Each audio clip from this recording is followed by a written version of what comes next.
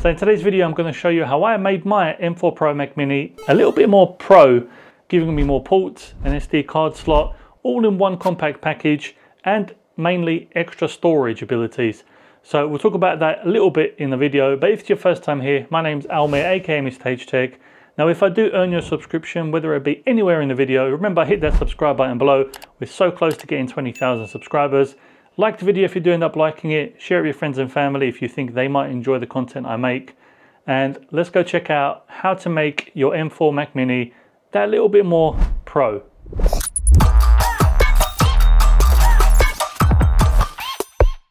So before we actually get into the video, I have to make a quick statement. It's only fair you might have seen, you might have not. I did post a video yesterday about the MacForge case for the M4 Mac Mini and I said that it's such a great case, I really like using it, but there was one big issue and that was that the Wi-Fi was dropping from around 450 megabits per second down to around 80 or just under 100, which for me was unreasonable. And I did kind of put the blame on the MacForge case and something didn't something didn't sound right or I didn't think that that could be such an issue. So I spent the whole day yesterday testing it out, different cables, different scenarios, different equipment plugged in. And I think I found the actual problem and it wasn't, fortunately, it wasn't the case by Zeera. So I had to make that announcement. I've got results on the screen now of different scenarios that I actually put the M4 Mac Mini in inside the MacForge case. And you can see that there is a big drop when I have the NVMe in the top connected to the M4 Mini inside the MacForge case with these small cables. Now, this is the cable I used in the testing, which is the Orico one. It's a Thunderbolt 4 cable, which came with the Minimate. Now, small cable, and ideally you want to use a small cable because if the NVMe drive is in the top and you want to be plugging in such a short distance, you don't really want a long cable because then you have to go around hiding it and managing that. So I tried using this one. It does do a little bit of a drop in the Wi-Fi, However, the Hagibis one, when I connect it, it causes such an interference, it seems to cut out the Wi-Fi completely and it just won't work for some reason. So be very careful if you're plugging in the NVMe drive in the top of the MacForge Mac Mini case and you're using a very short cable, be very careful as it may affect your Wi-Fi speeds. Otherwise, it seems to be if you just got a longer cable or even if you're not putting an NVMe drive in the top, the MacForge case itself doesn't cause any Wi-Fi issues. So I just had to put a wrong right, otherwise I didn't feel comfortable saying such bad things about the Zeera case if they're not true. So yeah. So this is the MacForge Gen 2 version by the company Zeera with a little bit of modifications, but we'll go through that in the video. Just one second. And first, putting the actual M4 Mac Mini Pro or M4 Pro Mac Mini into the case. It's very simple. The top is held in with magnets, so it just pops off like that. You've got a magnet there and a magnet there. And then the inside, we can just go like this and take this section out. And this is the actual housing that the M4 Mac Mini is going to sit inside. So once you take it off, the two panels at the back, which have no openings, align on each other, so you know the correct way to turn it around. And regards to this, you've got the power button section there. So you just want to make sure that aligns to the power button on the M4 Mac Mini. So then we find the section with no cutout, matches the section with no cutout on the other end, clamp them on top of each other, and it might be a little bit of a tight fit, but it's plastic, so don't worry too much. And there we go. Now the shell is in there. And then when we turn it around, we want to make sure that the power button section on this whole section is aligned with the power button on the actual aluminum case. So put it in like that and let it go down. And there we go. And now the top section, we put this in, put the magnet in, and the Mac Mini is in there. Looks pretty cool.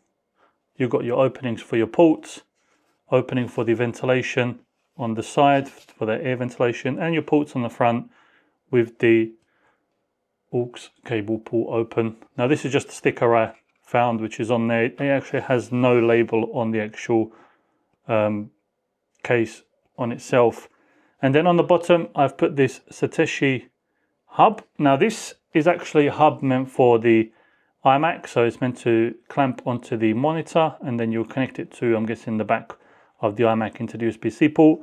I figured this was a very good little addition. I removed the clamp section and then I put it underneath. It was just the right distance between the legs where it would fit, but I did have to put this little silicone on the front and back just to make sure the legs have a little bit more clearance as if without the silicone it touches too much and it doesn't let this actual hub fit in.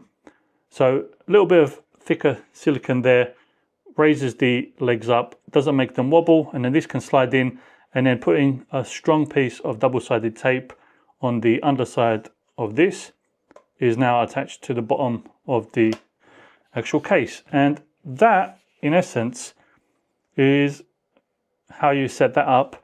And another thing I did, the top section, you might see there's a lot of space in there. That's for a specific reason, because you can actually put yourself an external drive in here, which is exactly what I've done. Now, although it has ventilation on the side here, using something like a Thunderbolt 5 drive by Acasis with the fan and the ventilation on the sides, in here I do have a Orico O7000 2 terabyte drive because they are quite fast and they're good value for money. Now the only issue is I wouldn't recommend putting a drive in the top here that requires a fan and with these Thunderbolt 5 ones they do get a little bit hot so they do have a fan there to cool it down.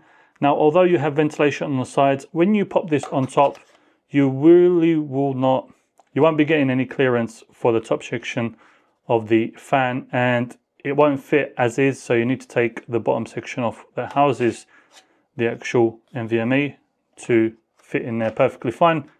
So I wouldn't recommend that. What you can do, and what I've done, get a Thunderbolt 4 one that has no fan inside.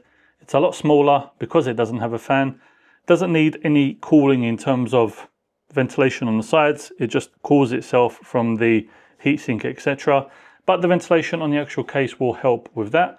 And this slides in perfectly fine and gives you a lot of space there. And then you can just get yourself like a small Thunderbolt 4 type cable slides in here and plugs into the hub. And then we close the top and there we go. In this Acasis Thunderbolt 4 NVMe enclosure, I've got a E7400 Orico drive, which has four terabytes of storage and basically everything on my M4 Pro Mac Mini, because it has 512 gigabyte internal, everything else that I don't need to be on the actual operating system. So all of my YouTube stuff, all the videos, all the high storage type of files goes on this four terabyte drive, including my final cut editing is all done from this. So a lot of the free storage stays free on my actual internal drive. And then this is basically uses all of the storage on this with four terabytes, which when you include the price of the SSD and the actual NVMe enclosure, you're saving a ton of money instead of upgrading the internal of the machine there. So like I said, this goes in here, you plug it in, close the top, and with that short cable, you can literally just bend it like that, and you're plugged in. The bottom cable for the Satechi can also be plugged in. And now we've got a nice hub with more sections. For example, one that I needed was the SD card slot. So now I've got that couple USB-A ports, which I probably won't use, a USB-C port there, micro SD card. I've got extra USB-C ports on the front, and then I've got the HDMI, Ethernet, and power cord in the back with one extra USB-C cable, which I'm not sure what I'll use that for, but it's good to have one extra on there. So yeah, a M4 Pro, Mac Mini Pro, all in one for a little bit of money. And I think it looks really nice. Obviously you can do a little bit more cable management with these, attach it to the side here so it doesn't come out as much if that's something you want to do. And then of course you have that power button on the side for all of you who actually turn off their M4 Mac Mini regularly. Easy access, you just press the button and the machine is on. So there you have it. That's how I made my M4 Pro Mac Mini Pro as I say. Now I hope you did enjoy the video. Let me know down in the comments box below what you enjoyed, if you're thinking of doing this for yourself, if you've got any other tips for anyone else down there, or for even me to see. And again, if you've got any questions, leave them down in the comments box below so I get the chance to answer them. Because if you don't ask, you don't get. Now, I want to thank you for watching this video. Thank you for your support. All links for all the products are going to be in the description box down below. So if you did like the video, remember to like it. If I earned you a subscription, subscribe, share it with friends and family, and I will catch you on the next one.